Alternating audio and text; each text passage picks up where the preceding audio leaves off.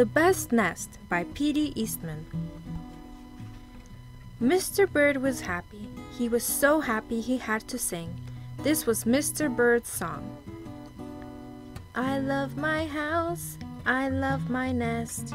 In all the world, my nest is best. Then Mrs. Bird came out of the house. It's not the best nest, she said.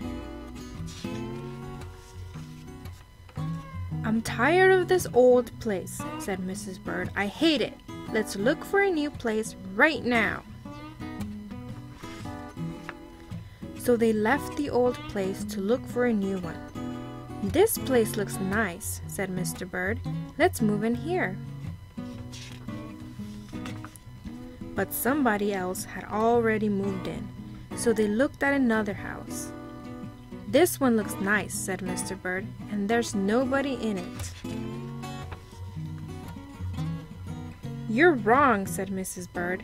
This house belongs to a foot. So they went on looking. I like this one, said Mr. Bird. It has a pretty red flag on the roof. I've always wanted a house with a flag, said Mrs. Bird. Maybe this place will be all right. But it was not all right. I guess I made a mistake, said Mr. Bird. You make too many mistakes, said Mrs. Bird. I'm going to pick the next house. And here it is, right here. They flew in, they looked around. Isn't it too big? asked Mr. Bird. I like this big place, said Mrs. Bird. This is the place to build our new nest. They went right to work. They needed many things to build their nest. First, they got some hay. They got some soda straws and broom straws. They got some sweater string. They got some stocking string and mattress stuffing. They got some horsehair, they got some man hair. Soon they had all the hay, all the straw, all the string, all the stuffing, all the horsehair, all the man hair they could carry. They took it all back to build their nest. Mr. and Mrs. Bird worked very hard. It took them the rest of the morning to finish their nest. This nest is really the best, said Mrs. Bird. I want to stay here forever. Mr. Bird was very happy too. He flew to the top of his house. He sang his song again. I love our house, I love our nest. In all the world, our nest is best. He was so busy singing he didn't even see Mr. Parker coming. Every day at 12 o'clock, Mr. Parker came to the church. Mr. Parker came to pull a rope. The rope went up to the bird's new nest. The rope rang the big bell right under Mrs. Bird's nest.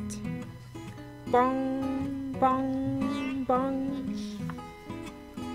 Mrs. Bird got out of there as fast as she could fly. Bong, bong, bong, bong, bong, bong. When Mr. Bird came in, all he could see was a mess of hay and string and stuffing and horsehair and manhair and straws. Where was Mrs. Bird? I will go look for her until I find her, said Mr. Bird. He looked high, he looked low, he looked everywhere for Mrs. Bird. He looked down into a chimney, but Mrs. Bird wasn't there. He looked down into a water barrel, but Mrs. Bird wasn't there. Then he saw a big fat cat. There was a big fat smile on the fat cat's face. There were some pretty brown feathers near the fat cat's mouth. Mr. Bird began to cry. Oh dear, he cried. This big fat cat has eaten Mrs. Bird. Mr. Bird flew off. I'll never see Mrs. Bird again, he cried. It was getting dark. It began to rain. It rained harder and harder. Mr. Bird could not see where he was going. Crash! Mr. Bird bumped into something. It was his old house. That old, old house that Mrs. Bird hated. I'll go inside, said Mr. Bird. I'll rest here until the rain stops. Mr. Bird went in, and there was Mrs. Bird, sitting there, singing, I love my house, I love my nest, in all the world, this nest is best. You here? gasped Mr. Bird. I thought you hated this old nest. Mrs. Bird smiled. I used to hate it, she said, but a mother bird can change her mind, you see? There's no nest like an old nest for a brand new bird. And when the egg popped open, the new bird thought so too.